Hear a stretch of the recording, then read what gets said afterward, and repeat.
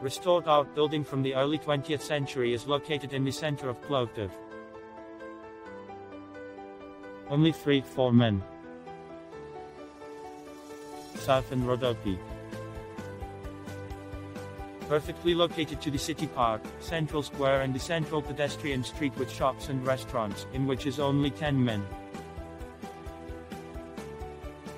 You can expect unique rooms decorated in comfortable style and panoramic view, a bedroom, two or three beds offering excellent conditions for recreation, cable TV, free Wi-Fi, shower and toilet.